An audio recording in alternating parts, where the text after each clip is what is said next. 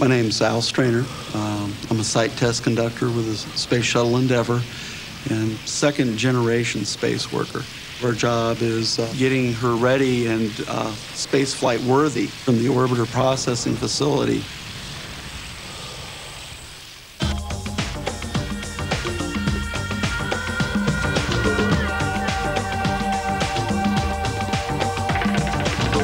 If you owned a recreational vehicle and you were going to take it on a very long trip, before you did that, you would probably put it in a garage and you would ask the mechanics to check everything.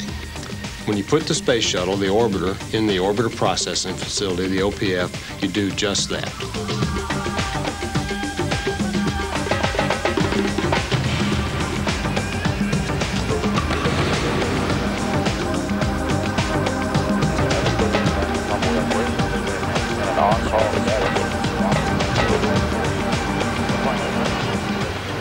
Very tight, and uh, we look at it very close. We're less than six inches in a lot of places. We've got it spotted in here, and it's less than eight hours from being in space. We're back here in the OPF. Uh, there are thousands upon thousands of individual tiles on the space shuttle. We inspect every one of those. The um, tires, uh, the main gear, come off. The brakes are come off and are refurbished and, and uh, re-inspected, reinstalled. Every landing when the bird comes in, we check for meteor strikes, scratches that may occur. The end of your hair, if you looked at it, that's the size that we look for on the window. And you have to locate every one. We inspect it, and then the technicians come in and clean it behind us so the astronauts can see for the next mission.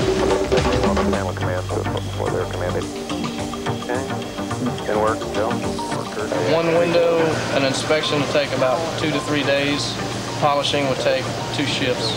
You have to scrub on eight hours. If there's a certain amount of damage within a specified area on the window, they have to pull it out or send it back to Corning. When you get into the payload bay area where we have the cargo, you're getting into a clean room environment. We have um, bunny suits, which are a, uh, an ensemble to stop hair or any type of uh, from the humans from getting into the machine. Like a hair in zero G can affect an astronaut's breathing.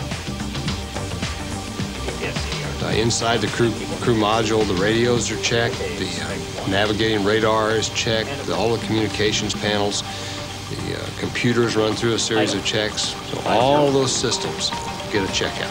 And execute. I think you have to realize that when the shuttle was built in the late 70s, uh, computer power uh, was not very readily available, so that now the shuttle is outshone by your PC that sits at your house. Uh, in fact, each of the five flight computers only has 256K of memory. Probably have more uh, compute power under the hood of your car.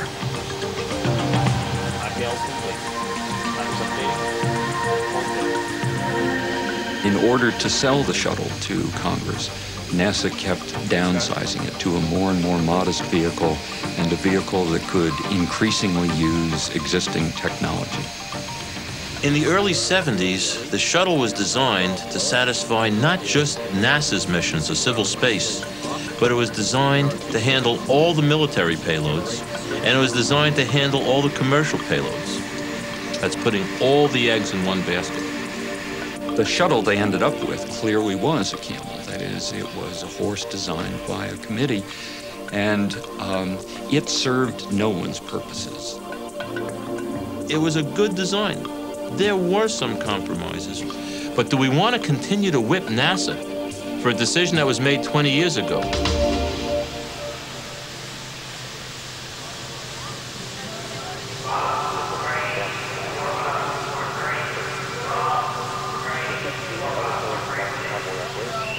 I'm blessed. I get to uh, walk away from my desk and walk up into a work stand and look at a spaceship. My uh, father worked out here, Gemini Apollo, and the start of the shuttle. My family um, is concerned. It's always been very admirable to help put men in space.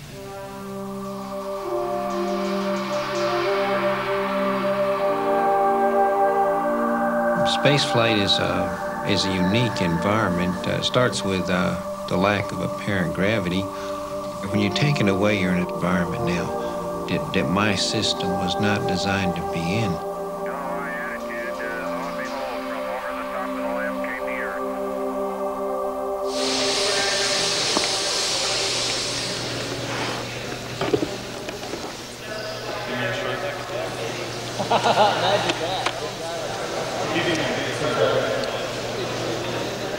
And even if you had all the money in the world, you cannot simulate zero gravity.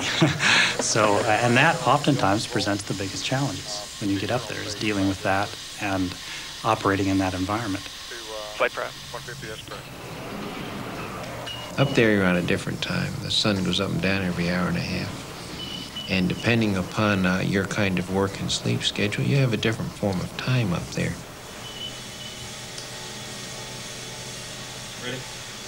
Right now, what we can identify is that there are risks, both for things such as bone loss, muscle loss, equilibrium changes, blood pressure changes, heart muscle changes.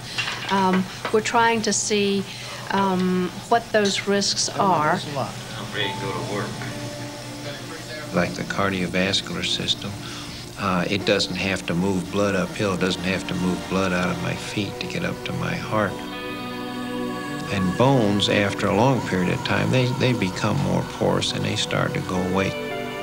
The loss of calcium from the bones. Um, it begins immediately, but it continues, probably at the rate of about 1% of your long bone calcium per month.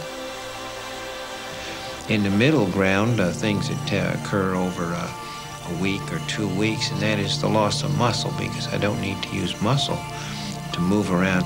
I walk with my hands instead of with my feet up there. Everything takes longer to do when you first get up there, whether it be going to the bathroom or preparing and eating your meal or ex- getting ready to exercise on a, on a bicycle that we carry up there or, or anything. If I'm sitting here in this room and I were to drop a pencil, I would begin looking on the floor and the tops of the tables and the tops of the chairs in the room. But in zero gravity, the pencil could be floating right here behind my head, and I could spend you know minutes looking for it until some other crewmate says, "Well, turn and look; it's right there."